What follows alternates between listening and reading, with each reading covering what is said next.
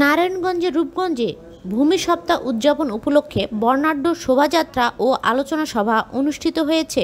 সোমবার বাইশে মে দুপুরে উপজেলার মাঠের ঘাট এলাকায় অবস্থিত সহকারী কমিশনারের ভূমি কার্যালয়ের সামনে আলোচনা সভা শেষে শোভাযাত্রা বের করা হয়।